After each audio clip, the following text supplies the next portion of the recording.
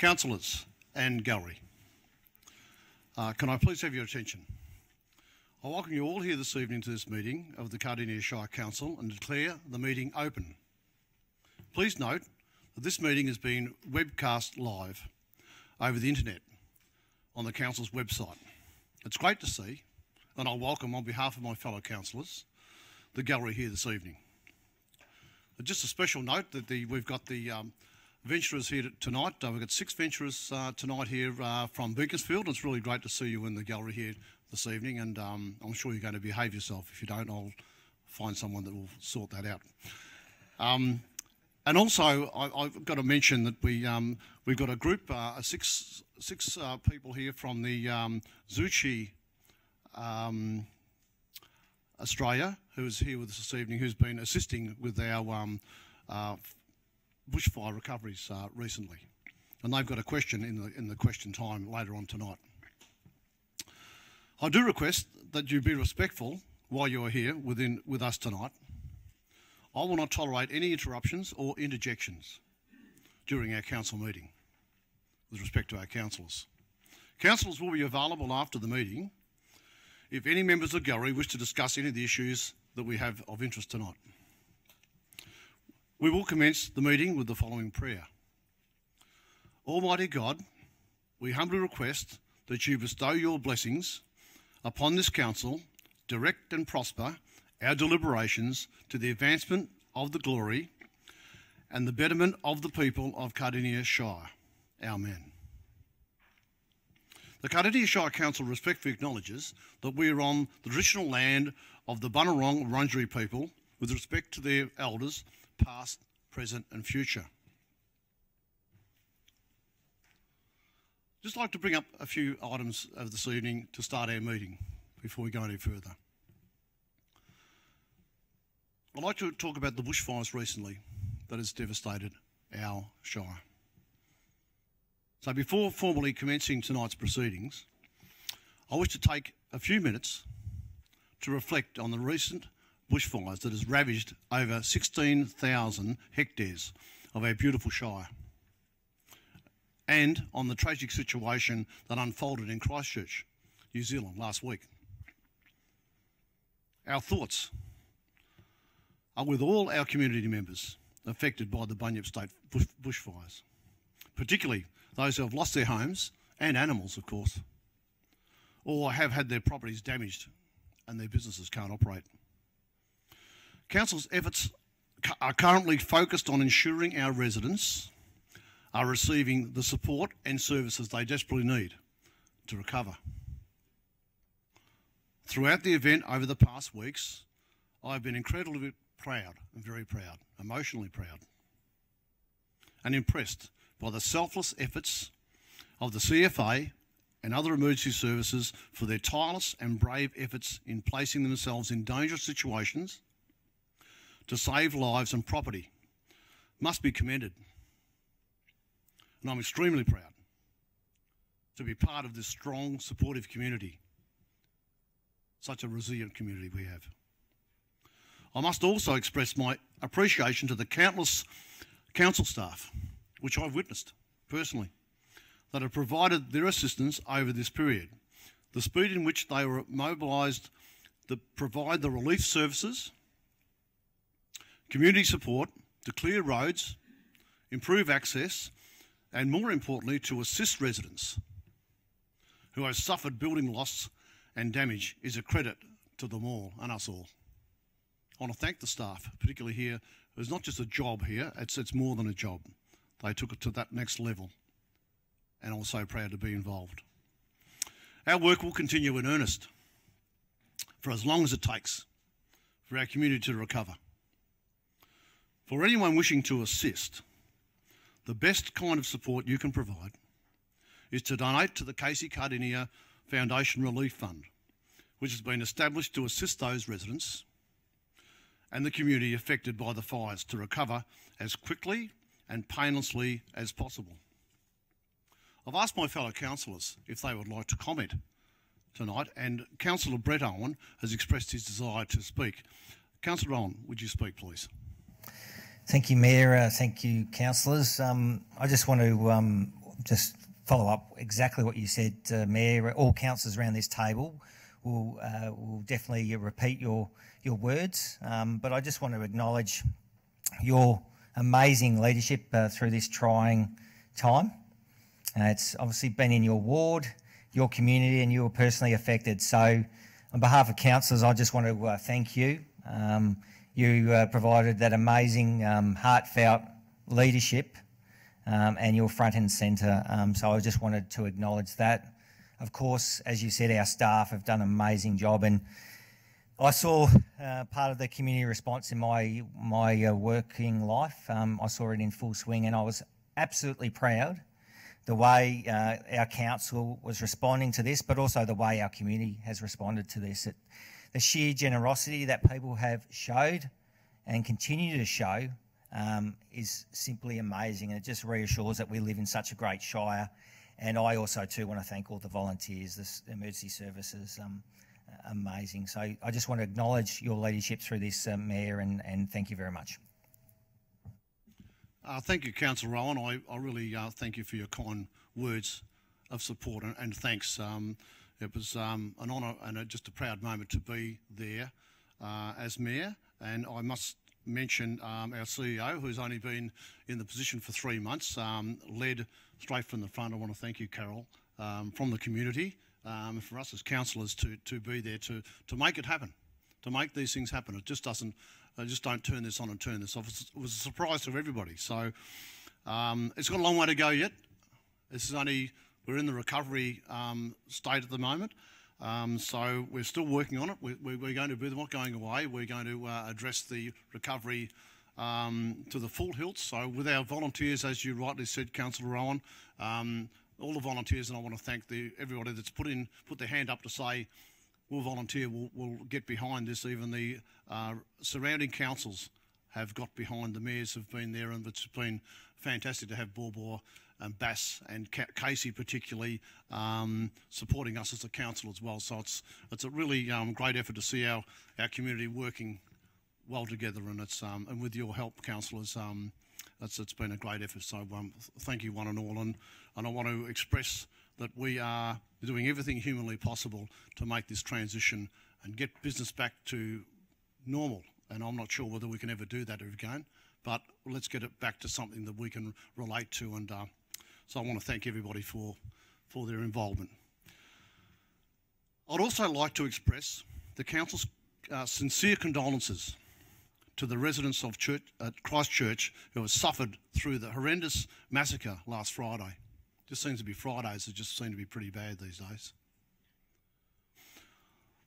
The atrocities is the assault on religious freedom, tolerance, compassion, and Cardinia Shires harbours such horrendous activities to our friends across the ditch. Our thoughts and prayers are with them all. I trust that this brutality will, will serve to steel our resolve, that such deplorable acts will not defeat compassion and tolerance. As a mark of the respect to those that have lost family and friends, and I must say, we have uh, three or four um, of our um, employees here who are very upset today. They have actually um, their own family involved in, in, in this, and so therefore it was very upsetting for me today to even speak to the, um, the, the, the um, employees today who work here. So it was very upsetting. So, um, as a mark of respect to those who have lost family and friends, I ask that we observe a minute's silence to reflect this tragedy and the enduring human and community spirit that gives us hope in such a time of grief. So, would you please assist me to just have a minute's silence, please, and stand, please.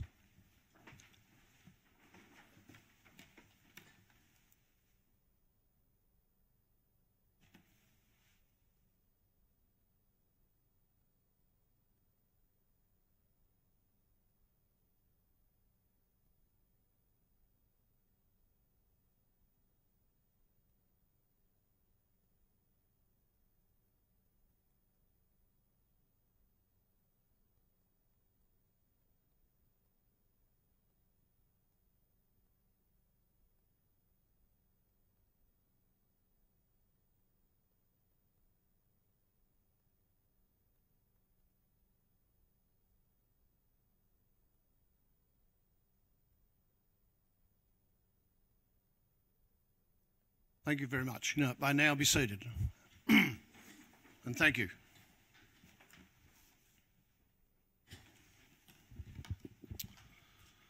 Apologies, we have. Uh, Mr Evans, have we received any apologies for tonight's meeting? Thank you. It's wonderful to see all the councillors in attendance uh, tonight. Uh, we've been away for a while. We've been uh, had a few weeks of doing other things at the moment, so I want to thank the councillors for being here tonight and being involved. Minutes of a previous meeting. Uh, can I have a motion, please, to adopt the minutes of the meetings as listed? Can I have a mover, please? Councillor Ray Brown. Can I have a seconder? Councillor Carol, Ro- Carol Ryan. All those in favour signify in the usual manner. For? Against? Declaration of interests. Are there any declaration of interest? Councillors.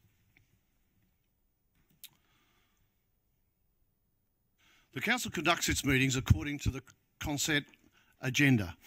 Councillors have advised of the matters for consideration this evening that they have wished to discuss or debate. The remaining items will be adopted without discussion. The items withdrawn for discussion this evening are item two, petition requesting traffic lights at Toomuc Valley Road and Princes Highway intersection, withdrawn by Councillor Michael Schilling. Councillor Schilling. Thank you, Mayor. Um, I'd like to move the recommendation that Council notes that the petition requesting traffic lights at Toomuc Valley Road and Princes Highway intersection has been referred to Vic Roads as the responsible authority to be investigated. Thank you, Councillor Schilling. Can I have a seconder, please? Councillor Jodie Owen. Back to you, Councillor Schilling. Thanks. Thank you, Mayor. Thank you, Councillor Owen, for seconding um, this very important petition, which was brought to um, us as a, as a council uh, at our last general council meeting, which was actually on the 18th of February.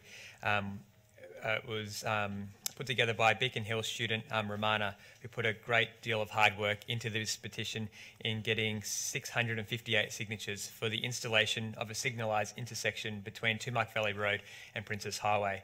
Um, once again, and, and, I mentioned this at the last council meeting, I, would like to thank Romana for her advocacy uh, and showing the initiative of, um, of um, getting this done. I agree the intersection during peak school times is dangerous and quite often it can be seen as a disaster waiting to happen. As a responsible road authority for the Princes Highway, Vic Roads needs to assess this request.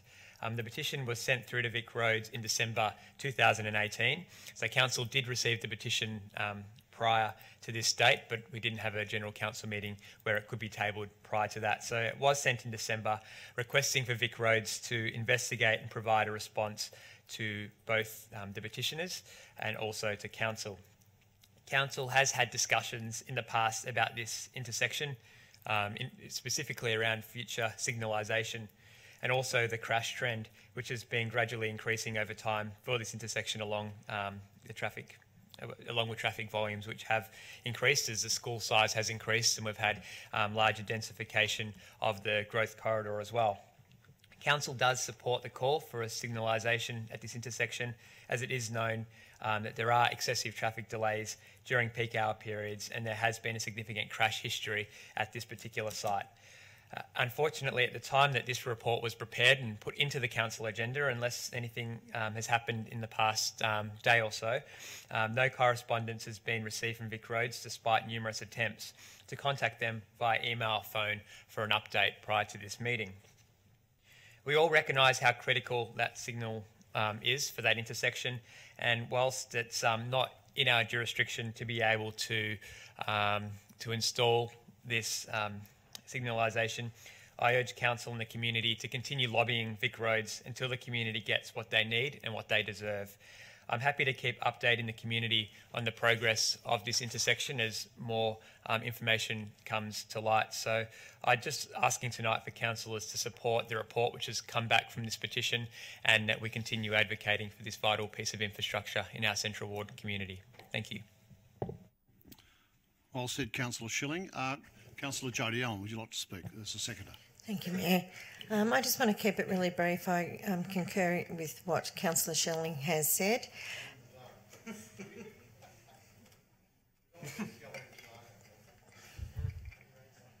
all right, relax, it's fine. Mr. Paxton's on it, it's all good. Um, students now through education do civics and citizenship, and in that, what they're trying to teach children of all year levels is that they are they are themselves a global citizen, and by being a global citizen, when they see a problem or an issue, they have as much right as adults do to take some action. So I'd really like to commend the students of Beacon Hills, and I'd absolutely support any other children, students of any ages out there that if you have a grumble or a groan, yes, bring it to us because we're not just here for big people. As we've shown in the past with Big Budget Brainstorm and other uh, ventures, we also do like to hear from our youth because you are part of the population and we're living in a world that one day will be yours. That's all I've got to say. Thank you. Thank you, Councillor Jodie Owen. Any other speakers? Any other councillors want to say anything? Councillor Carol Ryan.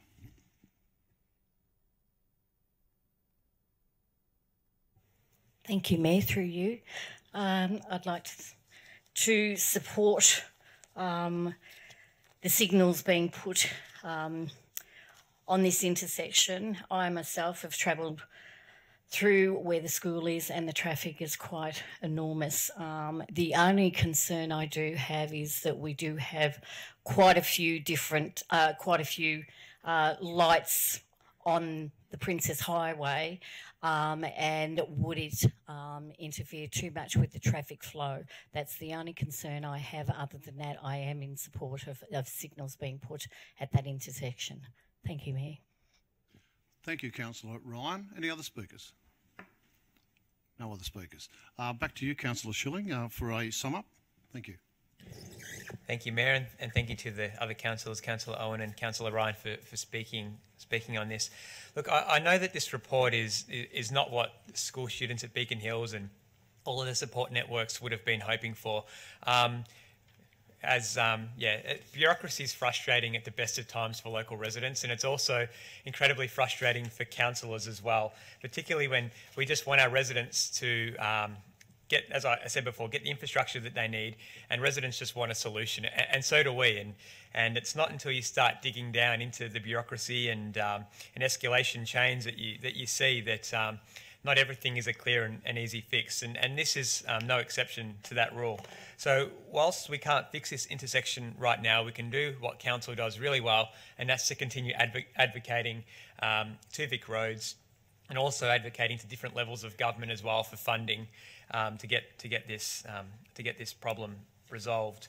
So um, uh, personally, um, I'll, I'll, continue to do that and, until we do see a, result um, in the community. Once again, I'd like to thank Romana, who was very successful in getting this petition all together, and everyone that has supported her. Um, and I guess if you, if you look through history, progress is um, rarely gained in our community or anywhere in the world by sheer luck or a bit of potluck. It always takes campaigning and perseverance from people to get progress. So um, it's never it's never lost, and I, I, just continue people just to keep keep going until we do see this um, signal installed. And I look forward to the day that um, it is there, and perhaps those students can um, come back and be the official openers of the of the crossing, and we can and we can do something to celebrate. So um, just asking for councillor support to acknowledge the petition and acknowledge our ongoing advocacy for this project. Thank you. Uh, thank you, Councillor Schilling. Well spoken, and uh, and I um, endorse your words. Um, okay, councillors, um, we, uh, all those in favour? For? Against? Carried. Thank you. Item four is the Gembrook Leisure Park Master Plan, withdrawn by Councillor Springfield. Councillor Springfield. Uh, thank you, Mayor. Um, I would like to move that Council endorse the Gembrook Leisure Park Master Plan. Thank you, Councillor. Can I have a seconder, please? Councillor Wilmot. Councillor Springfield, back to you. Uh, thank you, Mayor. Um, I'm very proud to bring the um, the finalised Gembrook Leisure Park master plan to this council meeting tonight, and um, and to see it along its journey for improving this space within the township of uh, Gembrook. Um, it has a nice uh, little journey for myself with this. This is one of the earlier things that came to, into this council term when I first became a councillor. Was um, we were made aware of um, the, the dangerous, somewhat dangerous state, but the broken down state of the Gembrook playgrounds and, and skate park. And um, upon further investigation by council officers, it was recognised that it was in dire need of, um, of refurbishment and upgrade. Uh, it was uh, led by community initiative back in 2000, I think it was completed. Um, timber design, the skate park obviously was not made of timber, uh, and has seen its end of life come, you know, come to um, come to this time. Um, so we started this journey of, uh, of how to refurbish and revitalize this. Uh, along the way, I'll jump a few steps, but along the way, we've managed to secure state and federal funding to the tune of uh, $500,000 each, included our own contribution of $500,000, which gives us uh, 1.5 million towards uh, upgrading this uh, Gembrook Leisure Park, which is going to really make it a feature within the Hills Townships, that there's not another Hills Township that has something to this scale um, and to this design. Um, so it's really looking forward to seeing this uh, get off the ground. It's been um, an extensive community consultation process um, throughout this time. There's been two drafts that have gone back towards community consultation for feedback, um, which has helped us to arrive at our um, and our final draft, uh, which I present tonight to us all, and which I believe is online for people if they wish to look at the um, our website and uh, and get a good uh, gurney at it themselves. Um, I'll, I'll, mention some of the things included in here. Uh, we, have got a half court basketball court set up. We've got a, a large skate park centre within there. Um, you know uh, extensive uh, green areas and treat areas that we're refurbishing. Um, a large playground, which is all going to be covered in soft rubber matting for to keep it nice and soft for big kids and small kids alike that may fall off the monkey bars. A new car park along uh, Beenak East Road. Uh, toilets refurbished. The barbecues um, are going to be refur- a whole new barbecue site, and it's yeah, really going to be a, a great centerpiece for uh, the town of Gembrook, um, and is you know is probably long overdue uh, due to the state of, of what the what the current park is looking at at the moment. Um, I would like to at this point just uh, thank uh, the state for the Growing Suburbs Fund of 500,000, which I mentioned, and thank the federal government for the Building Better Regions Fund, which they also um, gave us a grant of $500,000 towards this. Uh, so it's universally recognised across the three tiers of government that this is, you know, this is well due for the community of Gembrook and, and surrounds. People will travel to this. It's not, it's not just a local, a local uh, playground type of thing. It is, um, it is the next level, something that we can be proud of, delivering for our communities uh, within the hills and within this region. Um, thank you, man. That's uh, enough for my brief introduction. I'll, I'll give it back to you. Thank you, Councillor Springfield. Uh, second to speak, uh, Councillor Wilmot. Thank you. Thank you, Mayor. Um, and I just want to agree with a lot of what Councillor Springfield has already said. This was a community project that was done back in 2000 where the community banded together and, and built this park. And uh, it's been a very popular park for all of that time. And it still is. I was out there just a couple of months ago during the school holidays and I was amazed by how many people are still using it when it's in, in a really poor condition at the moment. So to rebuild this park will be a fantastic thing for the region, not just the township, because people will come. Um, now that we have the, the uh, Eastern Dandenong Ranges Trail going from Emerald through to Cockatoo and then on to Gembrook, makes it easy for the young people to transition from one town to the other. Um, I know over the years they've had problems getting um, BMX bikes and so forth on the public transport bus drivers aren't real keen on those things coming on their buses. So that's always been a bit of an issue. But the kids will be able to use that uh, multi-use trail to uh, to go out to Gembrook and to have a skate or a ride on their bikes or whatever they choose to do. Um, I just want to say thank you to the staff as well for the effort and the work they've put into doing the community consultation. They've really gone above uh, where we used to do consultation. They've been to the Gembrook market on several occasions and set up marquees there. Um, they've engaged with four different local primary schools about what the kids would like to see in their park. They've been to the Emerald Secondary College and they've held um, lunchtime workshops with the children there to get an idea of what they'd like in the skate park.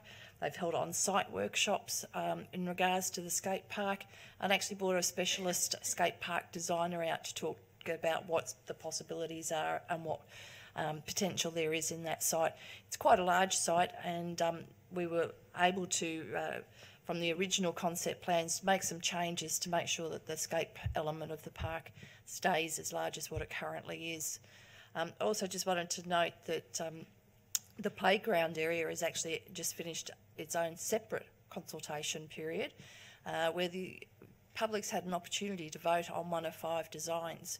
Um, that consultation's closed, but we haven't seen which one's the winning design. So that's a, a, little bit of excitement and good news still to come for the community. But I'm, I'm pretty confident that the community will enjoy this park, and I'm sure that the, the broader community and the other townships will also make the most of this fantastic facility.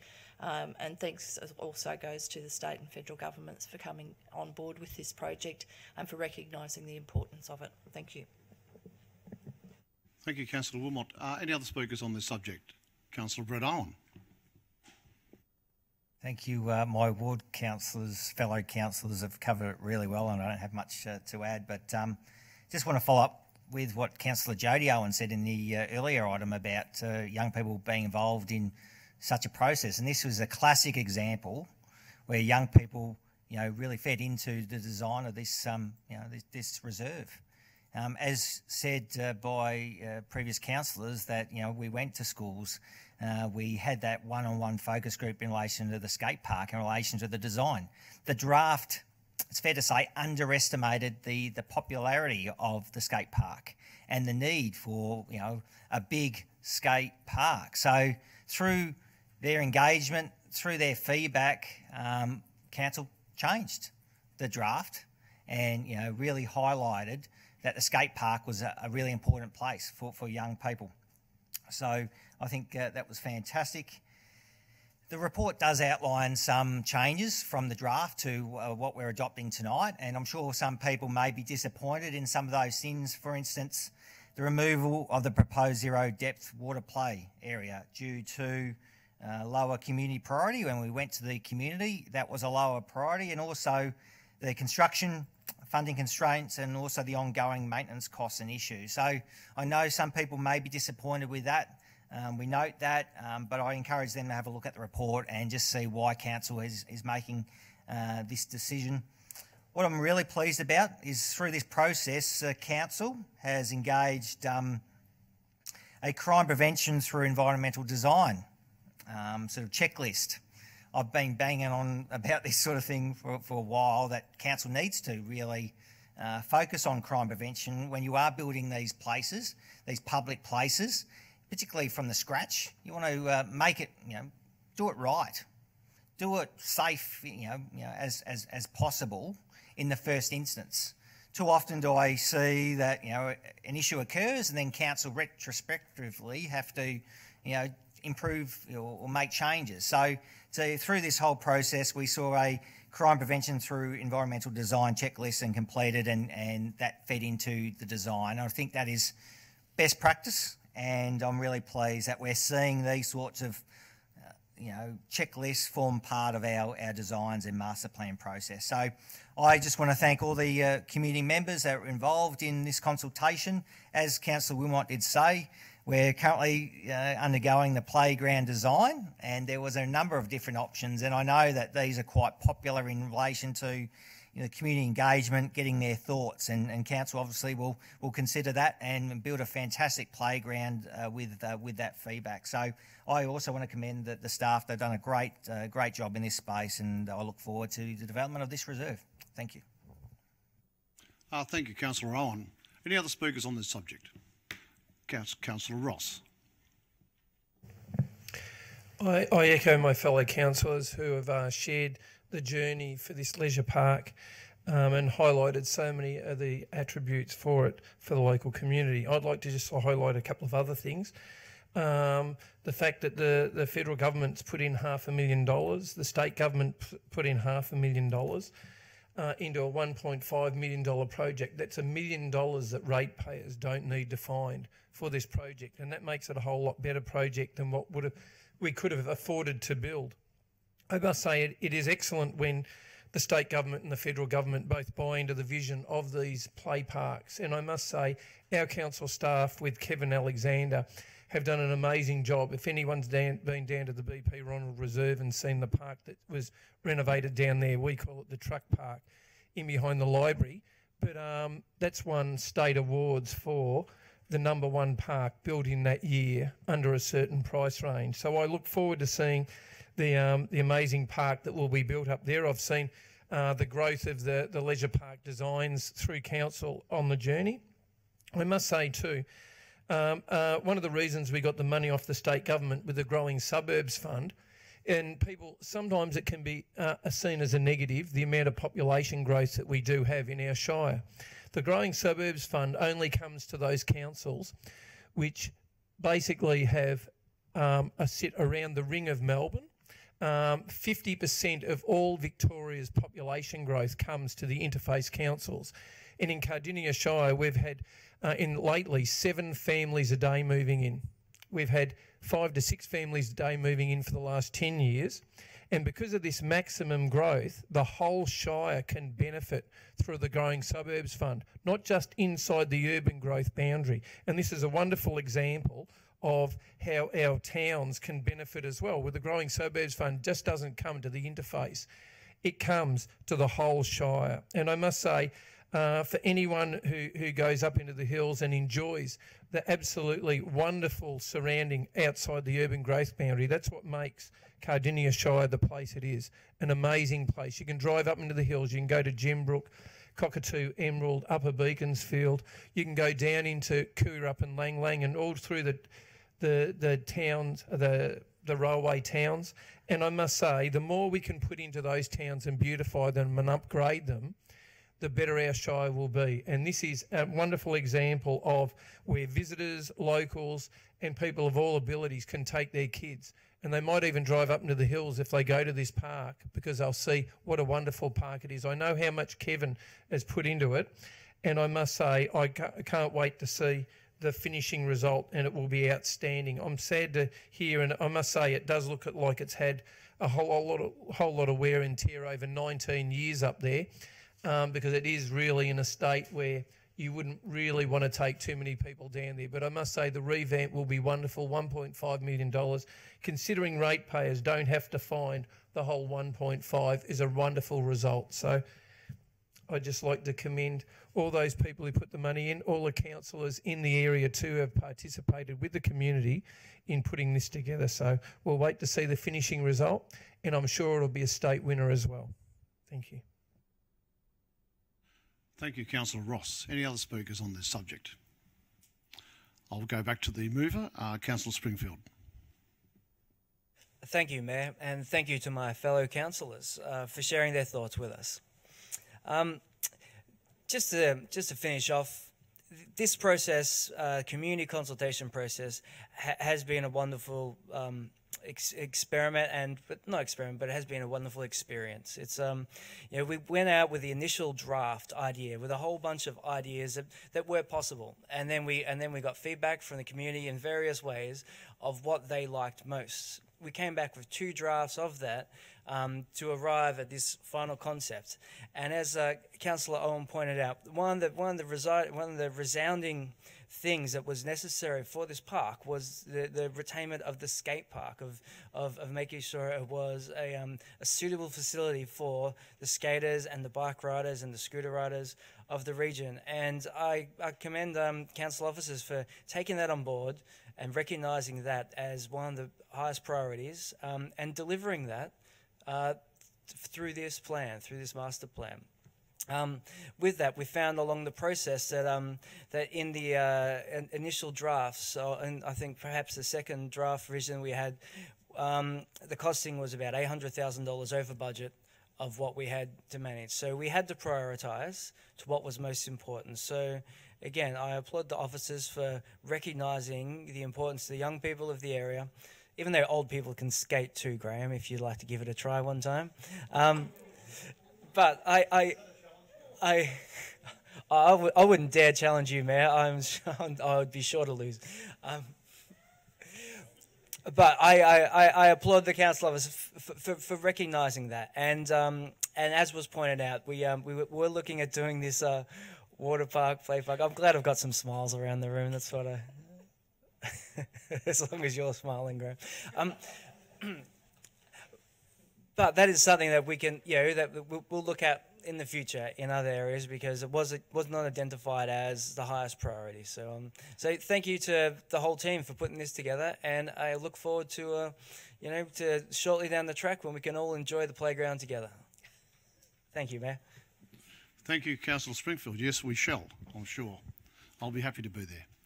Um, so we've heard the, we've the debate. Um, we'll signify the usual manner. All those for it? Against? Carried. Well done. I'll discuss it with you after, uh, Councillor Springfield. Um, we're up to item six, um, which is the Worrell Reserve Pavilion, withdrawn by Councillor Brett Owen. Councillor Brett Owen. Thank you, Mayor. I move the following that Council accept the tender sum of $2,632,450, excluding GST, from Lloyd Construction Group for contract number 18 44 Worrell Reserve Pavilion and the common seal of council be affixed to the contract doc- documents. Move so. Thank you, Councillor. Can I have a seconder, please? Councillor Jeff Springfield. Back to you, Councillor Brett Owen. Thank you, Mayor. Thank you, Councillor Springfield. So, uh, this project involves the construction of change rooms, standard and universally accessible amenities, umpire rooms, first aid, kitchen, and social space, meeting rooms, communications, community and gymnasium facility, cleaner store, and storage spaces on all encompassing building footprint of around 500 metres square. So that details the project, but this is really great news, and you know, council is committed to uh, upgrading uh, our facilities that don't make uh, you know the, the, needs and the demands of, of today. It's fair to say the uh, old change room uh, facilities on Worrell Reserve is not up to scratch. Females can really not really play there because I've heard stories of females having to changing their vehicles. Not acceptable. We know that there is a large female participation now in sport, particularly around football, and we know that this ground is the home of the Emerald Junior Football Club, and uh, this is really great. They've waited a long time for this. You know, it's been earmarked for a long time, and now it's Emerald's uh, turn uh, for this uh, pavilion upgrade. So uh, the report details how it was a competitive tender. Uh, it's a very competitive price, and we're and we're uh, proposing to appoint Lloyd Constructions Group. So we all know that the ground is in the uh, you know growing stage of the grass that we've just resurfaced uh, the uh, the oval there. Um, so I understand that construction, once this tender is accepted, will will occur very soon, probably next month. So that will be great. No delays in that. So I look forward to this being a reality, well overdue. and this is obviously going to particularly you know, cater for our young people. Also, of course, cricket and, and so forth like that, and other users of the uh, the reserve. So I support this. Thank you. Thank you, Councillor Brett Owen. Uh, second to speak, Councillor Springfield. Uh, thank you, ma'am, and thank you, Councillor Owen.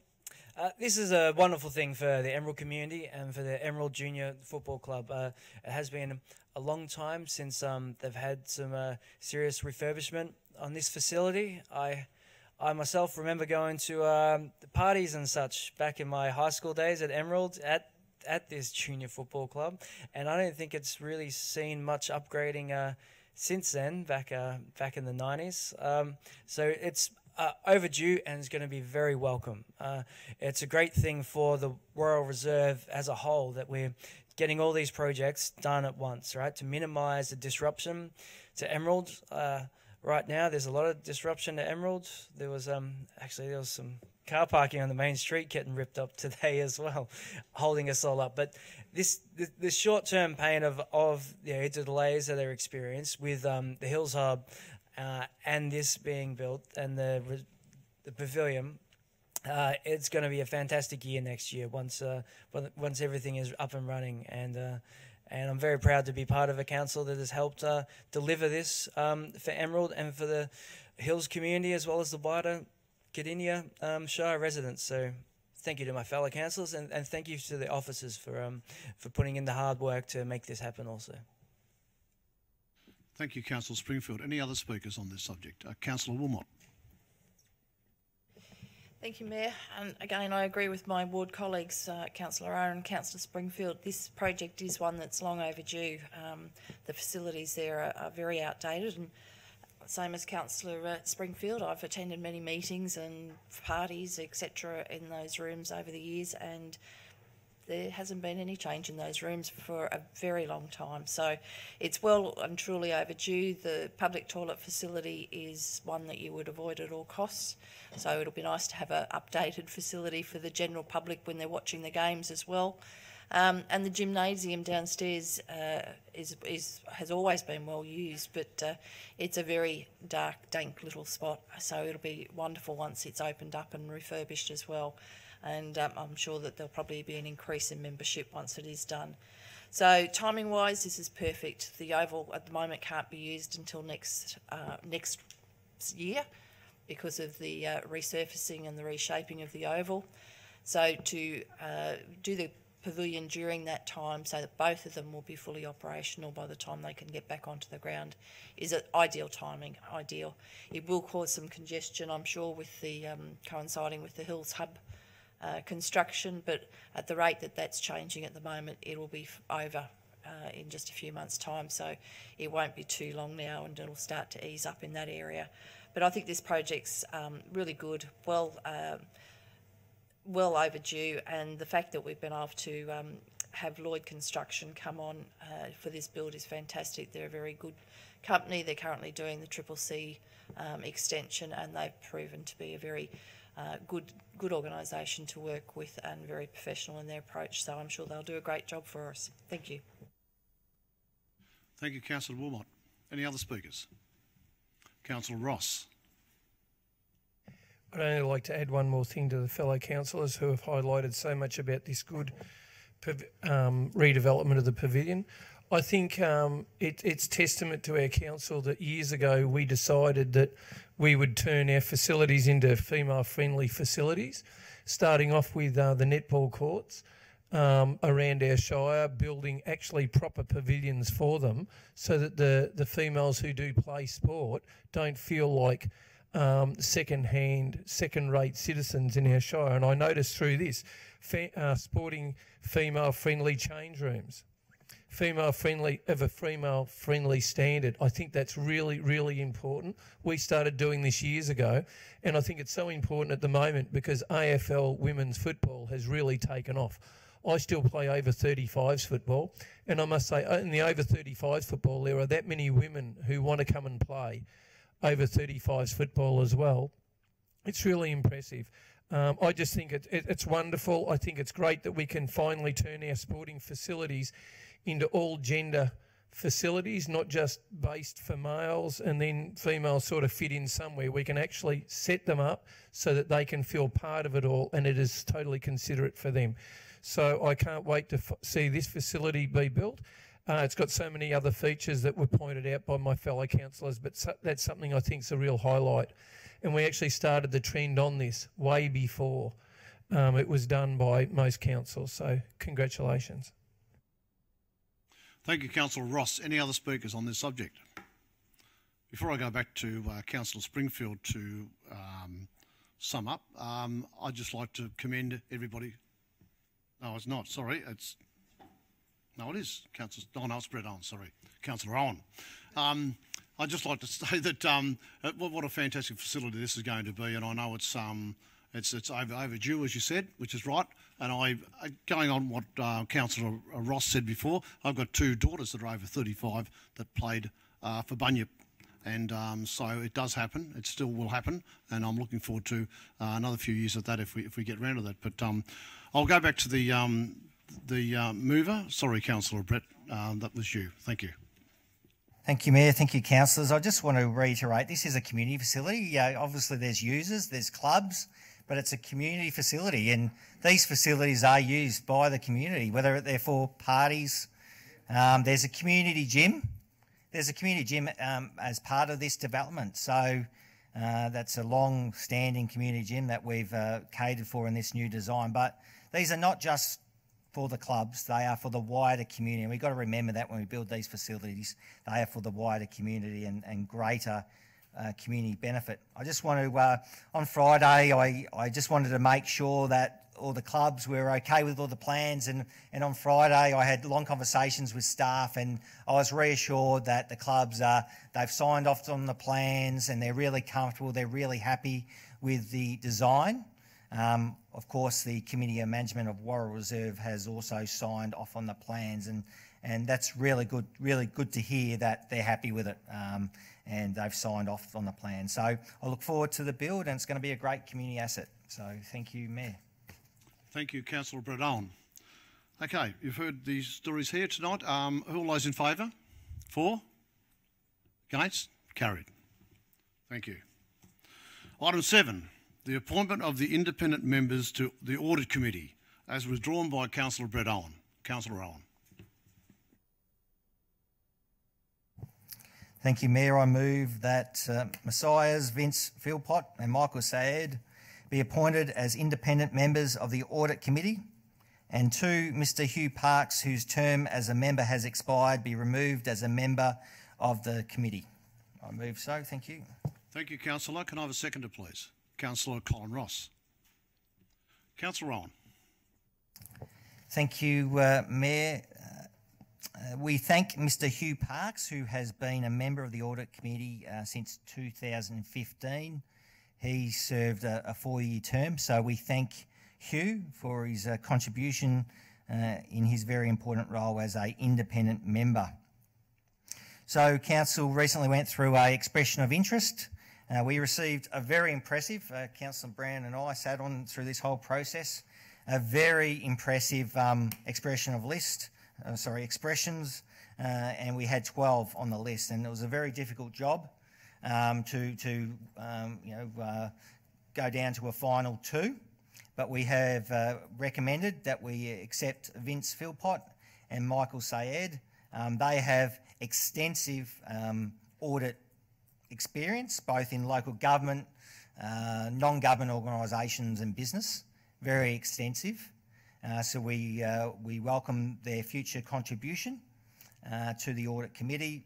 The Audit Committee is a very uh, important internal you know, uh, committee of council to ensure that we're doing you know, the right thing in relation to best practice and finance, etc. It's a, it's a really important job.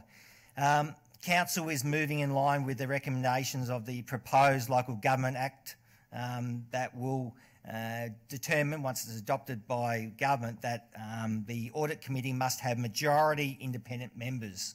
Currently, the, before this resolution tonight, the Audit Committee comprised of two councillors and two independent members, so there was not a majority of independent. So we're moving ahead of any sort of local government changes there, that we will have three uh, independent members and two councillors. So that is a, a positive change. Uh, that's in advance of any proposed changes. So we are uh, now uh, proposing to appoint two members instead of the initial one when we went out.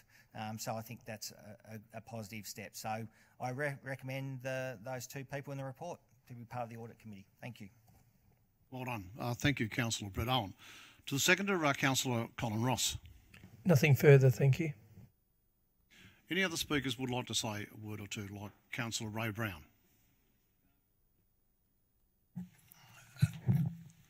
Uh, thank you, Mayor. Um, I support Councillor Owen's views regarding the appointment of these two people. As he said, we had a, a very impressive list of um, applicants for this job, and it took a lot of sorting out. And we did um, we did take a lot of time over it. And based from my observations at the last audit committee meeting, whilst these people were only observers, I was very impressed with the, the input that they gave to the meeting, and I'm confident that we have got the two right people. So thank you, Mayor. Thank you, Councillor Brown, for your input. Any other speakers, please? Before I go back to the mover, Councillor Brett Owen, I'd just like to say um, I'd like to thank uh, Councillor Wilmot for her uh, last two years of being on the Audit Committee. It's a big job. Um, and I want to thank you from the community and from us councillors for your input, valued input into that audit committee over, over the last two years. And also uh, thank you, uh, Councillor Ray Brown, for stepping up to the position. These are big jobs uh, we have within our shire, and, um, and I want to thank you for your valued, uh, valued work. I'll go back to you, Councillor Brett Owen. Thanks. Thank you, Mayor. Uh, that was a miss of me for not mentioning Councillor Letitia Wilmot and, and Ray, uh, Councillor Brown. So thank you, Mayor, for doing that. Um, but uh, I appreciate uh, Councillor Wilmot's efforts the last two years, and I welcome Mr. Councillor Brown uh, to the Audit Committee. Um, and as the report says, I think it says it well that we re recommend these two people. Well qualified, I believe. Thank you. Thank you, Councillor Ryan. Well, well spoken. Um, will you signify in the usual manner? All those for this? Against? Carried. Item 8. The shade policy withdrawn by Councillor Schilling. Thank you, Michael. Thank you, Mayor. Um, I'd just like to um, move the officer's recommendation that we endorse the shade policy. Thank you, Councillor Schilling. Can I have a seconder, please? Councillor Jodie Owen. Councillor Schilling.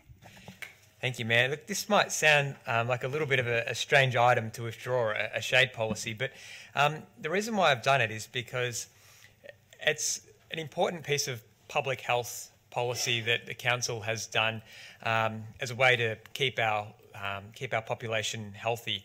And as a local local government, I, I think we serve. Uh, we have quite an important position in keeping our residents healthy. We don't fund hospital beds. We don't wait till somebody has a heart attack or needs surgery. Our, our job in preventative health care is to have good public policy that keeps residents healthy. And this is just one of those policies that um, would have slipped by. Not many people would know um, that um, we also work quite a lot in this space. Um, this policy is integral around protecting our residents, particularly around the harmful effects of, of UV and sun. Um, we promote active lifestyles in the Shire. We've just passed two huge um, infrastructure projects um, now. And yeah, we build pavilions, passive recreation spaces. We're speaking, talking about the Gembrook Park. Um, we build kindergartens, you know, so we can um, we can give kids good educations. But within our facilities, we also have a big responsibility to keep our residents safe. Um, we talk a lot about risk, and we've just spoken about the audit the audit committee as well. And I guess that's a different type of risk. But with our public, every day we're trying to mitigate risk on a daily basis. However, we probably don't always think of something as, as simple as the sun, something that affects us um, every day.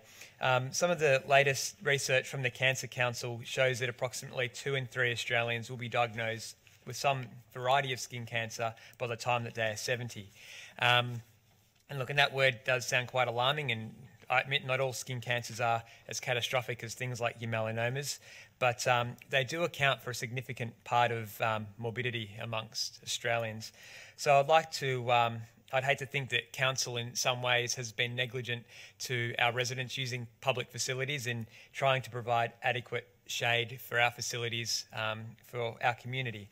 So um, we want to ensure that there is adequate shade structures, but this policy uh, really does um, implement the importance of having natural shade within our community through the use of trees and cleverly designed um, paths and parks which encompass um, trees that are already there or trees that will grow um, quick enough to provide um, some of that shade. So a few bits of this policy which we will use when designing all of our public um, spaces um, and it will include, as I just mentioned, the use of natural shade um, as a cost effective solution. It doesn't have to cost thousands of dollars to um, provide this type of um, shade. Uh, we talked about before. Some a councillor mentioned, I think it was Councillor Wilmot mentioned the um, the Hills Trail. Um, people using that um, quite deliberately. A policy like this fits in there quite well, where we're looking at um, planting trees along that. So as people are riding, cycling, walking, whatever um, mode of transport they use on the path, um, that there is shade um, available to them. Within our policy, we also want to make sure that we have up to 90% UV protection um, for our residents um, as well using, using our facilities. We also are looking um, at skate parks, um, BMX tracks around providing adequate shade, not only for people that use the facilities, but also um, to um, supporters and people who are who are coming down to enjoy come and enjoy the activities. Um, I'd like to thank council staff for working on this. It's not an overly big policy, but it's a very important policy which um, will go to um, making sure our community do stay healthy uh, for a long period of time and um, prevent any uh, potential morbidities that um, could occur from um, continued sun exposure in the community. So I'm just asking council to endorse this policy tonight and um, recognise its importance um, as we move forward and build new um, public spaces for people to enjoy. Thank you. Thank you, Councillor Schilling. Councillor Jodie Owen, the second to speak. Nothing further to add, thank you. Thank you, Councillor. Any other speakers on this subject? Councillor Carol Ryan. Thank you, through you, Mayor. Um, thank you, Councillor Schilling and Councillor Owen, for uh, giving your input. Um, this is very close to my heart about um, skin cancer. Um, and you're right, um, two out of three um, people at the age of 70 are diagnosed with skin cancer. A lot of that probably back in those days when you know I'm not that old yet, but uh, uh, we didn't use sun cream. We were out in the sun all the time, or we went down the beach and we just automatically went in the water, or we're outside doing um, activities, and there was nothing no, there wasn't any knowledge at that stage about uh, skin cancer. Um, but I do have a person that's very close to me for 38 years has been um, dealing with skin cancer. So um, hats off to her that um, she's still doing the fighting.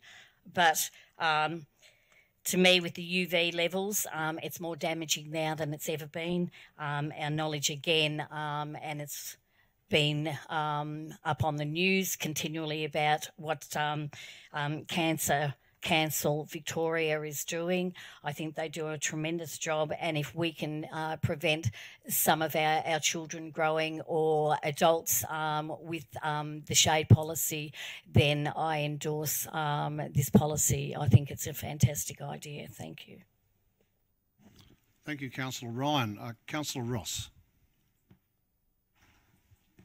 Thank you, Councillor Schilling, for withdrawing this item. It is a really important item. You, you sort of said it's people might be um, wonder why you withdrew it, but it, it, really does have a lot of significance, and in relation to people's lives. Um, I must say, I, I can remember times when I was really young when people would go out in the sun to get a suntan. And in fact, they wouldn't put sunscreen on; they'd put they'd put oil on to try and burn faster so that they could get their tan faster. Um, as we know, moving on down the years, Australia has the number one um, amount of skin cancer per population of any country in the world. And that's not going to get any better as time goes on because we're all subjected to so much sunlight and we do so much outdoor activity in Australia. I know personally from my grandfather who used to have skin cancer cut out of his nose every six months. Um, and that was because he was a carpenter, so he was out in the open, and he thought he was probably bulletproof too, and he could walk out. And as we've found out over the years, the first 15 years of, of young people's life is where they do the most damage as far as their skin goes, uh, destroying the cells, the skin cells. Um, we can always remember the um, slip, slop, slap campaign that came in the, the 70s when people started to realise how bad skin cancer was. And I think it's absolutely imperative that council um, gets involved in this. I know schools have made a great attempt to try and put shade cloth across playgrounds and walkways and those sort of things. Uh, I know schools even have policies now where you have to wear hats at a certain time of the year and you're not allowed outside. I think with council, it is really important that with a policy, people might say, well, it's just common sense. But the important thing about a policy is every time we have some council owned land where we build infrastructure or we have council controlled land, we run the policy past to see whether we are doing the best we can to make sure that these areas are shaded. So I think it is really important. Thank you, Councillor Schilling, for bringing this, bringing this up. And I'm sure that generations ahead, the better we can do this uh, with the shade policy, the b- b- more grateful they'll become in the long run that we've actually done something to try and help them. That's all. Thank you. Thank you, Councillor Ross. Any other speakers on this subject? Thank you, councillors. I'll go back to uh, Councillor Schilling. This is a, a shade policy, not a shady policy, by the way. Councillor Schilling. Thank you, Mayor. I don't know if I missed something there, but I'll, I'll go back and look at the video afterwards. um, and um, um, so, thank you everyone for, for, your comments on that. It is an important policy, and um, look, I really do appreciate um, everyone's input. Um, latest data that we have to hand over a two-year period, there are 102 residents in the Shire that were diagnosed with melanoma, and, and we know that sunburn can occur within less of than 15 minutes of sun exposure on a clear January day. Um, so, look, the data is there. We know that it's dangerous. We know that skin cancer is impacting on our very community. Um, we know that we're trying to encourage people to get out there and use our reserves and, and, and be as fit and healthy as possible. So this just adds that extra level of protection and um, good public um, policy to put out there in the realm to um, yeah, mitigate any further risks and um, make sure we have a, a happy, healthy population um, into the future. So I'm just looking for council to support this tonight. Thank you. Thank you, Councillor Schilling. Uh, all those in favour? For? Against? Carried. Thank you. Councillors in gallery, uh, that concludes discussion on the items withdrawn. Uh, can I have a motion, please, to adopt the recommendations of the balance of the items listed? Can I have a mover? Councillor Jodie Owen. Can I have a seconder, please? Councillor Carol Ryan. All in favour? For? Carried. Reports and minutes of the committees. I note that Several reports from varying committees have been tabled in addition to the minutes of, of recent council briefing sessions, and these are available if any councillor wishes to view them. Council reports. Councillors, any matters to report? Councillor Jodie Owen. Thank you, Mayor. Um, I've got a little bit of good news, and it may seem a little unusual that I'm mentioning it, but just bear with me. So, on the 17th of March, um, Chris Buckingham, who is the CEO of the Casey Cardinia Library Corporation, went up to Brisbane with um, some Casey staff as Bunjil Library was nominated for an A- ALIA Library Design Award. Um, Casey Cardinia won that. So, although it's a Casey library per se, what is what is really important and special about this is there was over a thousand um, ALIA members who voted on the design, and the interesting thing is it was not just the physical design and the architecture of the library; it was also the staffing and the experience that members had when they went through the library. So I find that extremely exciting. I think we've got a we've got a really good CEO in Chris Buckingham um, at the top of the organisation. I'm chairperson myself, and I, I really think that in hopefully, fingers crossed, in the not too distant future, we will have an awesome library here at um, Officer, and we can learn even further on this excellent example of Bunjil Place. Thank you. Uh, thank you, Councillor Jodie Owen. Any other reports from councillors? Councillor Michael Schilling. Thank you, Mayor. Um, just a, a, few quick things um, I would like to like to mention. Um, Councillor Brett Owen and I both sit on the Access and Inclusion um, Committee, which we, we know is it's a community-based committee also uh, with council officers, which advise on um, uh, disability access and inclusion issues across the Shire. Um, each year we have a, a small budget um, of $150,000 to provide small scale upgrades. Um, and there was one quite significant one in Central Ward which has been completed um, in, the last, in the last few weeks, which since my time on council people have highlighted as being a big issue, and that's around our community garden at Living and Learning um, in Pakenham. Um, it was actually near impossible for somebody with a wheelchair or with a walker or any sort of mobility aid to get over the gravel path to get to the community garden. Um, and at the Pakenham show on the weekend, I, um, I noticed that um, there's now concrete there.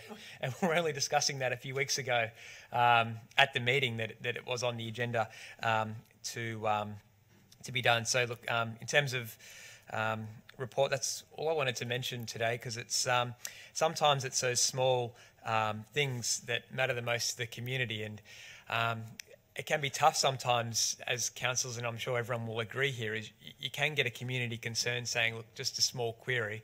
Um, but that small query um, and bit of work actually takes years of hard work to get up. And um, look, it's been almost, well, it's been over two years now since being on council.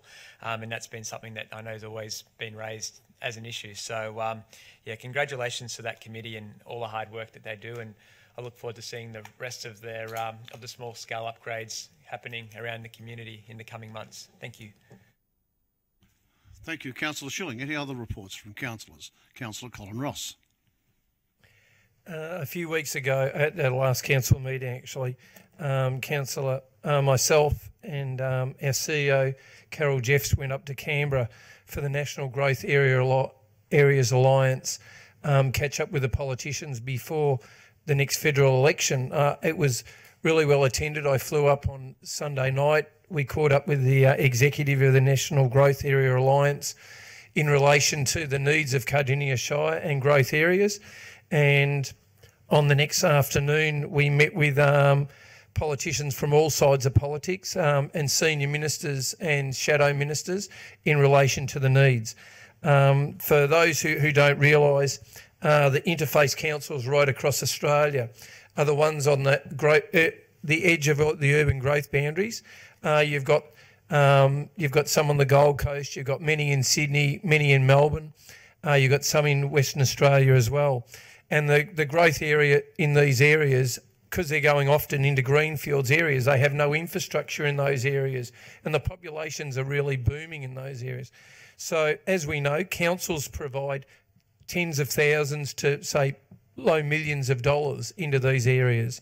Uh, state governments provide, you know, hundreds of millions up to say billions of dollars. Federal government provides billions of dollars into these areas, and people don't realise with a budget like ours in Cardinia Shire, we we get say about $100 million a year. If a federal, say the state government, with their growing suburbs fund, have given into this area in the last three injections of fund. We've probably got about 13 million to 14 million dollars out of that to build infrastructure. Uh, what we've done is we've put to the federal government that it's about time that they stepped up to the plate in this area, uh, particularly in Victoria. Victoria alone has half of the population increase in Australia and the, and the interface councils around the ring of that actually represent almost 50% of the population boom in Victoria. So you've got 25% of all Australia's population boom coming to the shires like ours.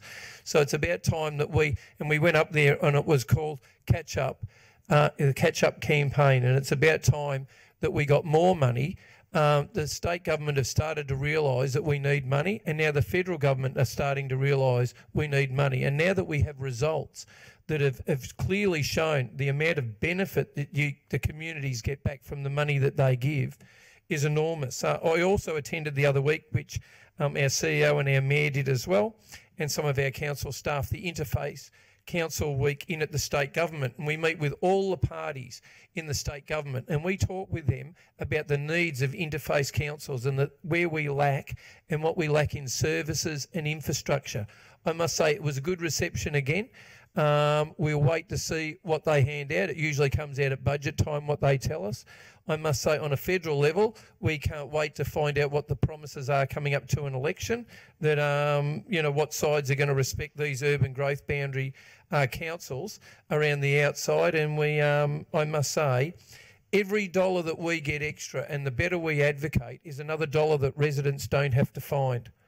And that's what's really, really important. The more we can get. So therefore, I'm really passionate in this area, and I know Carol is as well and we go there and we make sure that we, we have a foot at the table. Like the night before, we met with the executive. We were the only ones who turned up at the meeting, so we had a, uh, one-on-one talk with them about what we felt Cardinia Shire needs. So it was front and centre at the conversation the next day and on the presentation. So, and we were used as a, a model of and as an example of what we need, particularly things like services like public transport and those sort of things and roads being you know, the ones who are probably lacked the most of any interface council in Australia in this area. So anyway, uh, that was, uh, we wait to see what the result is. We've had some results in the past with the Growing Suburbs Fund, and as it was pointed out with the Gembrook Leisure Park, you don't necessarily have to be right in the growth corridor to benefit. The whole Shire should benefit from um, what we, we need to provide in Cardinia Shire. So thank you. Thank you, uh, Councillor Ross. Any other um, reports from councillors? Councillor Ray Brown. Thank you, Mayor. Um, I attended the the uh, Koo Wee Rup Longwarry Flood Protection Group during the month, and the main discussion was the the um, the fact that Melbourne Water are growing a lot of tree plantations in the drains, and the farmers and the interested people want to know what they're going to do about it. Melbourne Water, they acknowledge that the growth is in the drains. They also acknowledge that they haven't got a budget to do anything about it. There's been pressure put on to get extra funding so that they can clean these drains out because winter approaching, these drains are going to be critical for the swamp. They're now investing in drones that they can take up inspections of the uh, of the drains instead of people driving around the uh, the drain areas and doing the inspection. They're doing that by drones. Uh, blackberries and noxious weeds, and also the uh, um, pests, animal pests, are also a major issue burrowing away into the drain banks. So Melbourne Water's got a big task on their hands, but I can assure you that uh, they're into it, and also the members of that committee are also taking them to task somewhat.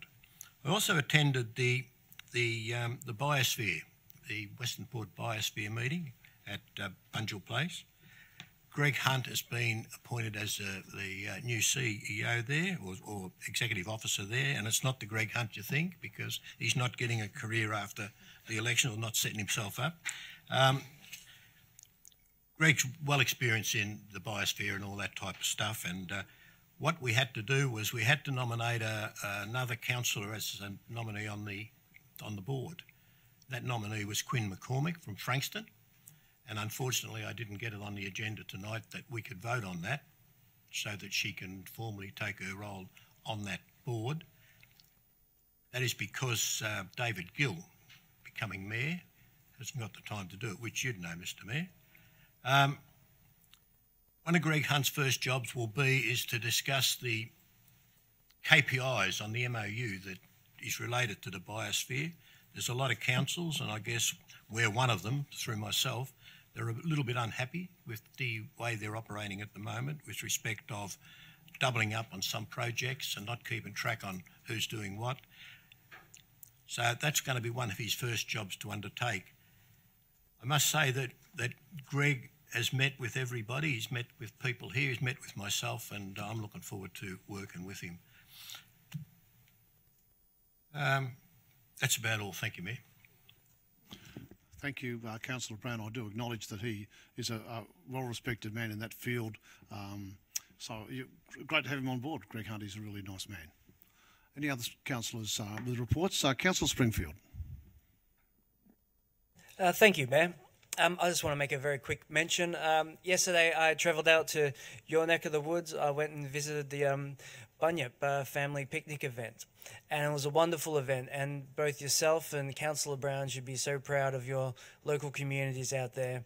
After just two weeks of um, experiencing this tragic event, um, they're out there. Community resilience, you know, is strong, and uh, and they're raising funds and money for um for the victims of this event that we've just experienced. But but the community spirit that I that I witnessed and saw out there was, was a wonderful thing. Wonderful thing. It was a great day. Um, I, I didn't stay for a long time, but but certainly wanted to go out there to pay my respects and to uh, and to participate. So it was it was great to spend some time out in Bunyip.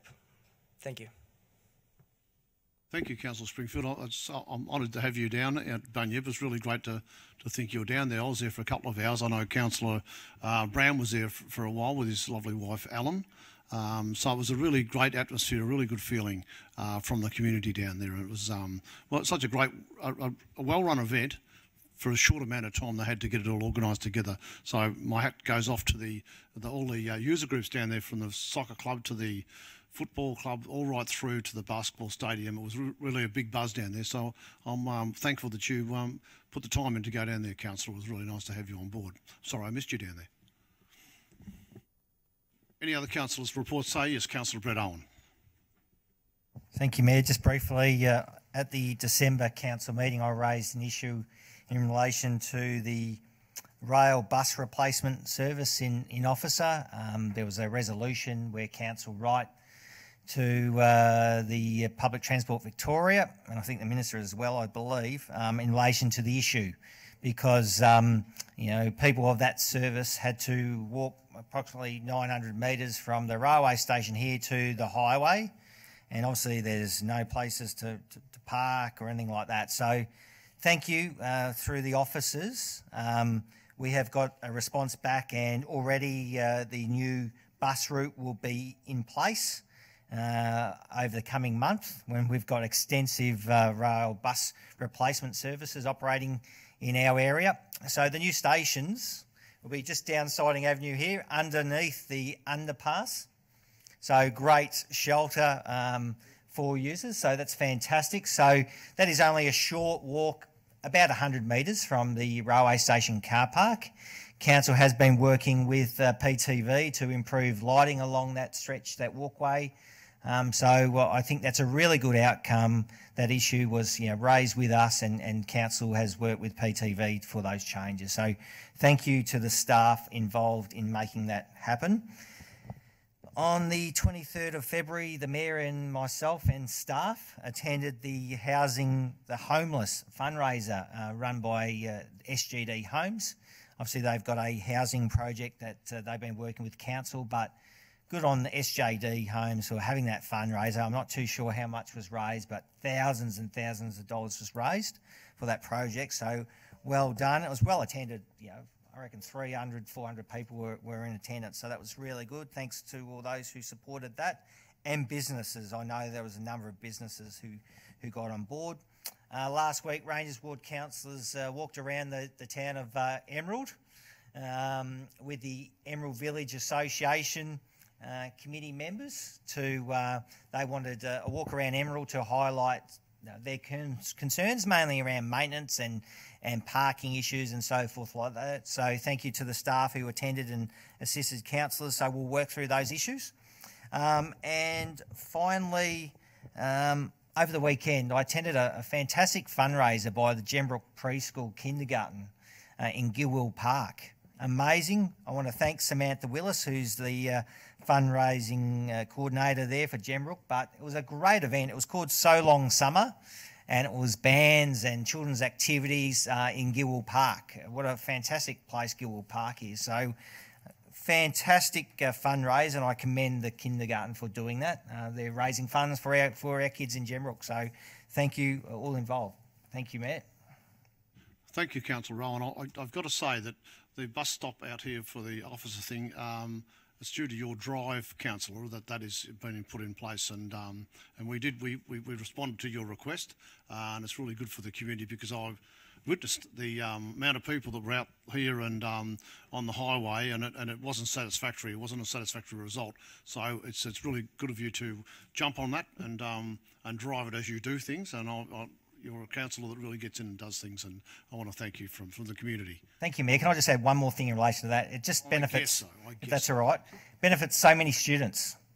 So many students from the schools just uh, just down the road here uh, will use that service, and to have them walk a massive stretch to the highway to access that service was unacceptable. So it's a great outcome for our students and schools. Thank you. Fantastic. Any other councillors with uh, any matters to report?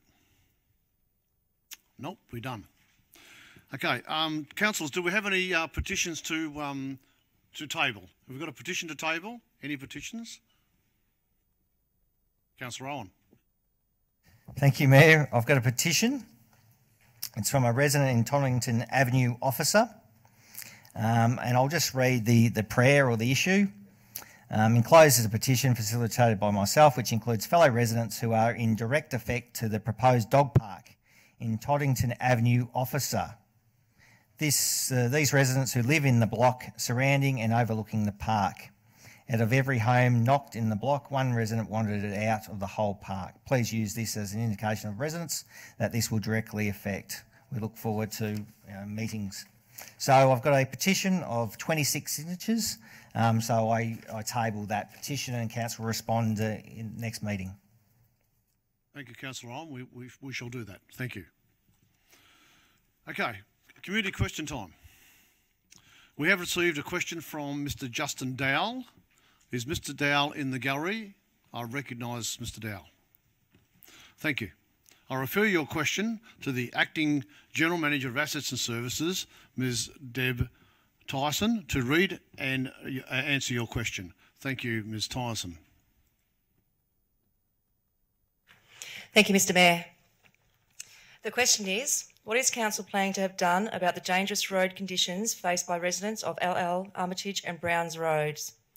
These dangerous conditions were, were created by Council's poor decisions to allow for so many schools built that run off Browns Road. The gravel roads were simply not designed to cope with the current traffic loads and are only getting worse as the schools grow. On top of this, there are a number of housing estates now being constructed that are going to worsen the situation even further. I thank you for your question, Mr Dow. Acknowledge that due to the timing of development, in particular the schools, some traffic utilise Browns, LL and Armitage roads. Browns Road is within the officer precinct structure plan, which sets out the land usage requirement for the new officer township, as well as highlighting the associated infrastructure required. Council cannot dictate the timing or phasing of works and development in Browns Road, as this will be a private development and will be sealed by developers when development occurs in this location. As declared public roads, Council cannot stop motorists from using these unsealed roads and, and alternative routes, routes to the sealed roads to access schools and O'Neill Road. Traffic surveys have shown, however, that the traffic volumes using these roads is relatively minor and within the capacity of these roads at this point of time. Council continue to monitor, monitor these roads. The LL Armitage Rink um, LL and Armitage Road linked to the end of Browns Road is a candidate for the road development program, which Council is currently investigating. Council continue to assess development plans as they arise and look for opportunities to manage the road network to best service our community during this time of development. Thank you, Mr Mayor. Thank you, Ms Tyson. I believe you answered that quite well. Uh, um, you can have that answer in writing if you prefer, Mr Dowell, or is, I will um, instruct um, we'll respond to you uh, by mail if you if you want. Okay, thank you, and thank you for your question. We also received a question from Mr. Wayne Cockrell. Is Mr. Cockrell in the gallery? I recognise you. Thank you, and I'll refer your question to the General Manager of, of Community Wellbeing, Ms. Jenny Scicluna. Uh, Ms. Uh. Scicluna, uh, can you read and respond to Mr. Cockrell's question? Thank you. Thank you, Mr. Mayor. Mr. Cockrell, Cockrell writes, We are a registered, registered deductible gift recipient under the Charities Act, and we have been trying tirelessly to obtain a list of those families affected by the current bushfires in the hope of distributing funds. What is the chance of obtaining such a listing and working in conjunction with Council to distribute these funds? We have an emergency cash card program which we would like to help families who have lost their homes or suffered some damage to their homes. The program provides $800 for partial damage and $1,600 for homes that have been lost.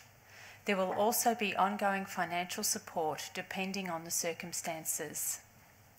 Thank you for your question, Mr. Cockrell.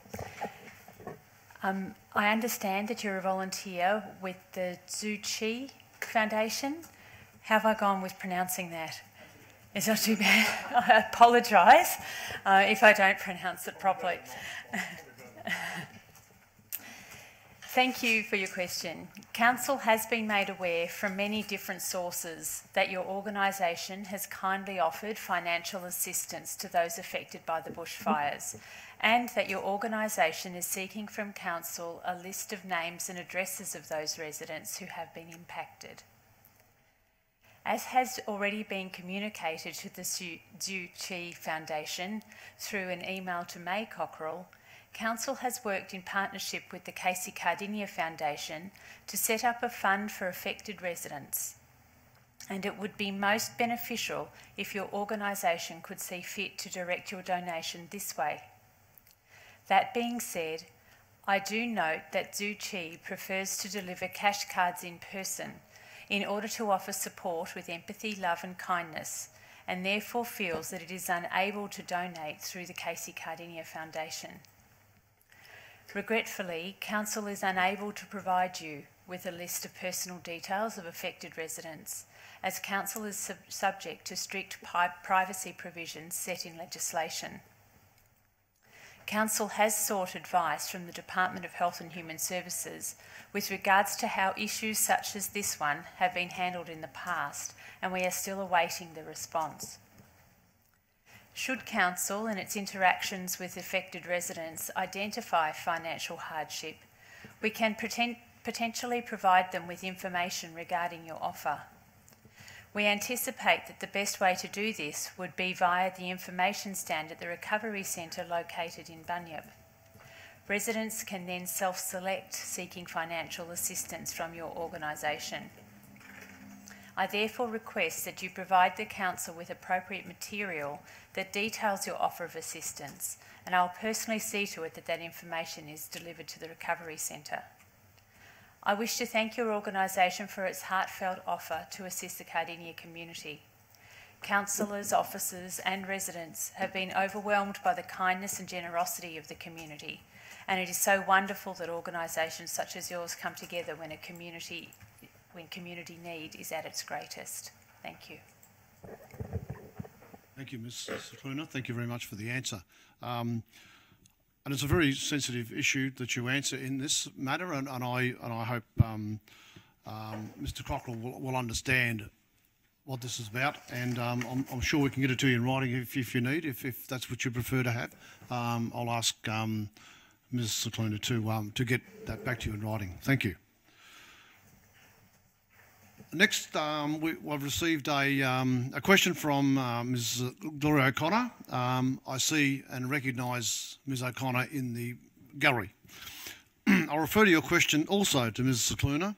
Uh, Ms. Scicluna, please. Thank you, Mr Mayor. Ms O'Connor's questions are what information is available concerning the huge number of families and individuals requiring social welfare and housing assistance in Cardinia Shire?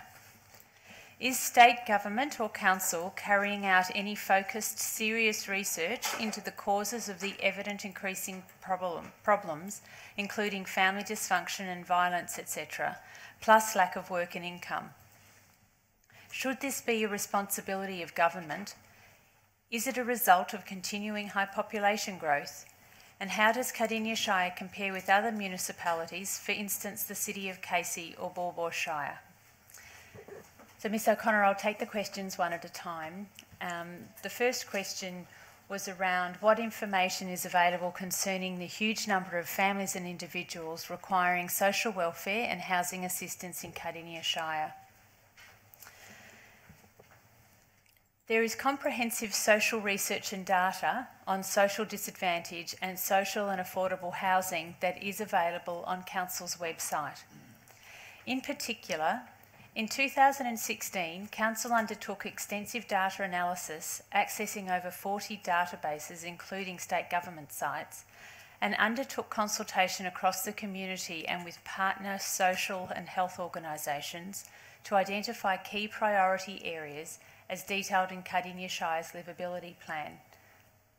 The social and health data profile, which informed that plan, is on Council's website.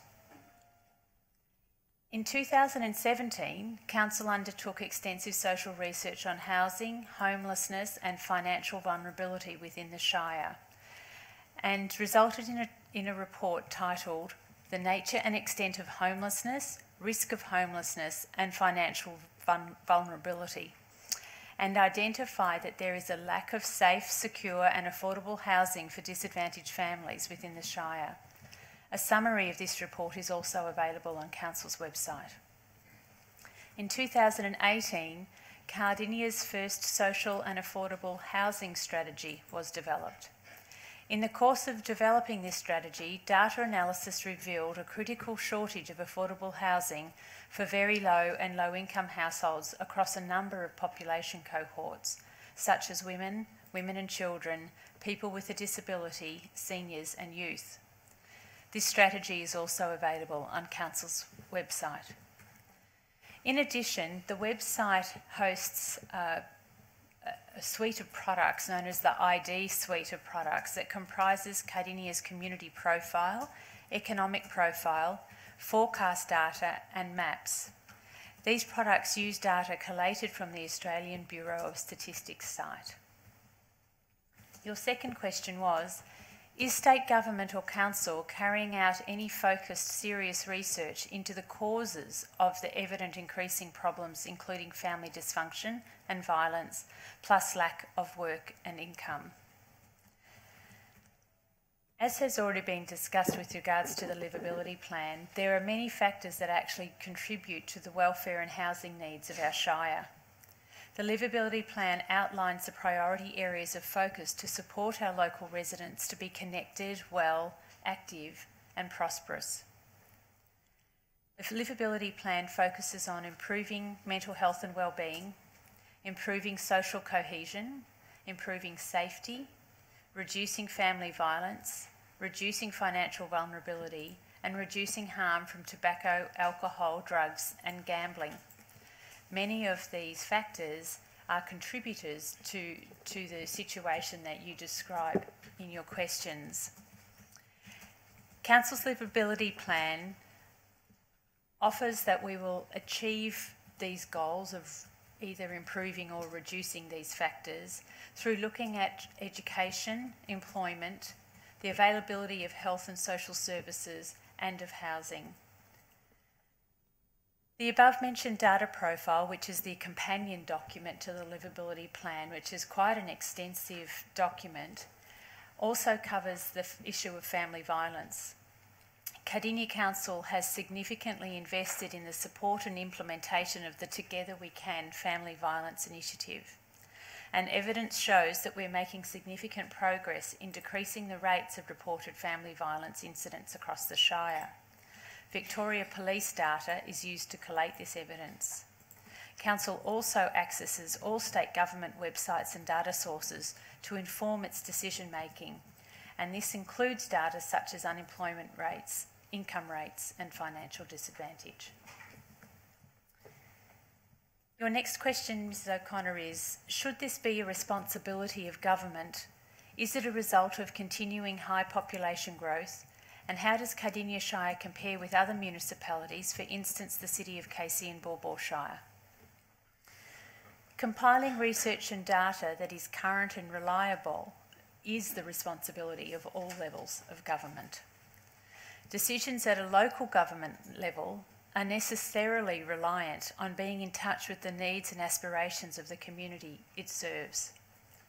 Research and data at a local level can be coupled with that available from the state and Commonwealth to build a genuine evidence base for decision making. With regards to comparison to other councils in the area, we know that on raw numbers, Cardinia would seem to have a lower need for housing support than some of the bigger councils. But we also know that as a percentage of population, the issue in Cardinia is significant, and that our rate of increase of homelessness is quite alarming at about 20%, which is second only to Wyndham in Victoria.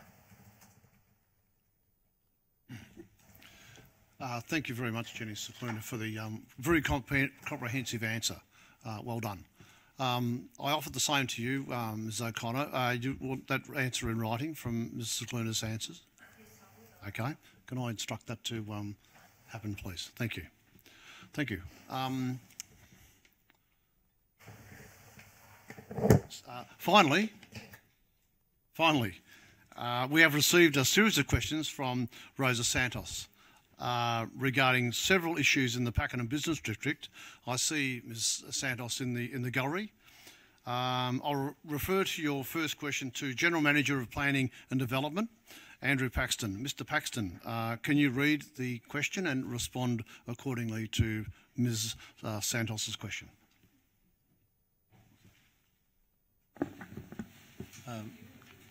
So, through you, Mr Mayor, we might do them in the uh, reverse order in that case. The, the question from Ms Santo, the third question is regarding parking of cars by business owners, which limits space for customers and people in the main street. If designated parking space was provided for business people in the an area near to Main Street, there'd be more places for customers and people coming to the main street. Um, Rosa, thank you very much for your question. Cardinia Council has a number of public car parks and on-street parking in and around Pakenham, which Council's traffic team review periodically to ensure that the car parking works in Pakenham, trying to find a balance that meets everyone's expectations. We acknowledge this can be a challenge at times to find that balance. Council undertook a detailed parking strategy in Pakenham in 2017, planning both for now and into the future. One of the short-term actions was to develop a map which shows the parking available, both timed and unrestricted, to improve awareness of parking options for both business and customers in Pakenham. As Council receives and considers planning applications, specific planning requirements exist for the provision of car parking depending upon the use and scale of development proposed. Council are currently try- seeking a plan scheme control through the Minister which will allow for cash contributions toward car parking improvements and expansion within Pakenham where individual applications are not able to meet their parking requirements on their site. At this stage, we haven't heard back from the Minister. So we are trying to deal with parking, and the 2017 strategy did do a lot of work on finding that right balance and found there was still a surplus of parking in Pakenham. Thank you. Uh, thank you, Mr. Paxton. Yes, I was at the um, caravan that we had in Main Street, Pakenham, with all the um, the residents coming up and um, contributing to the parking. So I um, I was there witnessing the the group that was down there. So it was a fantastic um, input from the community there. Um, I'll go to um, Ms. Tyson for um, Ms. Santos's uh, final question, which is number one and not number two. So we just got them background the other way. But thank you, Ms. Tyson. Thank you, Mr Mayor. Ms Santo, we've got two questions in relation to the Main, uh, Main Street Pakenham. One being the footpaths on Main Street through Pakenham business area that were built 40 years ago were never finished. 14? That's okay. 14 years ago We're never finished finally and properly. More work is needed now. And your second question why is there, there why is there no convenient community toilet facilities located in the main street central business location? So again, I thank you for your feedback. In regards to the footpaths, Main Street Pakenham has had a streetscape renovation uh, completed in, uh, by council in 2008. Since then, there has been a number of new businesses, services, and service authorities undertaking works in the main street that has implicated the aesthetics, while council staff also look to maintain the path to meet the road management plan requirements. Council's draft five year forward capital works program has already identified the opportunity to upgrade the street, streetscape in Main Street, Pakenham.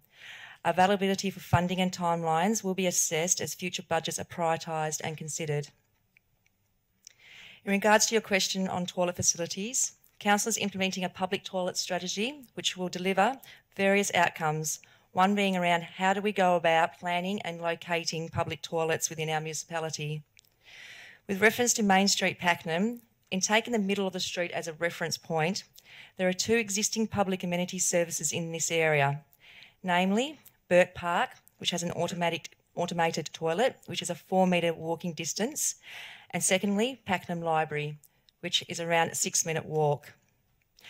At this point of time, there are no plans for a public toilet for Main Street or elsewhere. However, the public toilet strategy will provide the foundation by which future public toilets are planned and located. Thank you. Thank you, Mr Mayor. Thank you, Ms Tyson. And we shall um, give you a written uh, response to those uh, questions, uh, Rosa, in, in, due course.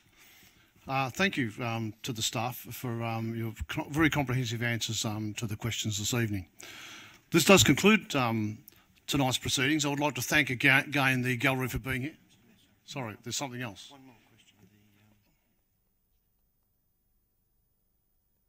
No. That's okay. This concludes tonight's proceedings. Um, before I go, I'd like to thank the gallery for being here and being very patient. I would like to thank again the venturers uh, for being here uh, tonight and, and witnessing a, a, council meeting. It's really great to see you along. And I want to recognise uh, Jenny James for being here, a former uh, youth councillor um, on this council. And I'd also like to uh, recognise um, Zach Bowman, who is one of our youth councillors here this evening at a, at a council meeting. It's really great to see our, our youth here in, in full flight, um, um getting gaining knowledge uh, from our council meeting. I hope you found it entertaining, if nothing else. Um, and I and also can I also um, mention the um, Tzu Chi um, Australia uh, for that group that are here, and I want to thank them once again for their offer and in our recovery of our, our community out there who are feeling the pain, and I know they are. And thank you to the gallery in general, the usual suspects. Um, it's really great to have you on board here and um, being involved in our council meeting. So I declare the meeting closed now. Thank you.